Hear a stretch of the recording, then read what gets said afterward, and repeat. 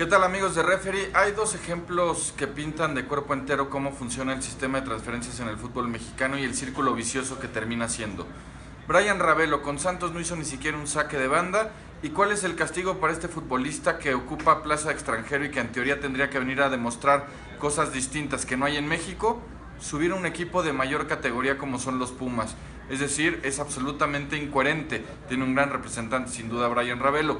Y el otro caso, el Gulit Peña, va al Guadalajara, llega como gran figura, el tipo que tiene que echarse al equipo a las espaldas y resulta que no le va bien a pesar de las oportunidades y ahora regresa a casa, al lugar del cual nunca se quiso ir. Va a estar con sus cuates, con el Chapito Montes y lo reciben como si fuera en serio una gran figura del fútbol mexicano, cuando el Gullit ha demostrado que en partidos importantes y en momentos bravos nunca aparece. Esto, insisto, pinta de cuerpo entero cómo funciona el tema de las transferencias en México. No importa el desempeño real de los futbolistas, lo que importa es al representante que tienen en la oficina. Saludos amigos de Referí.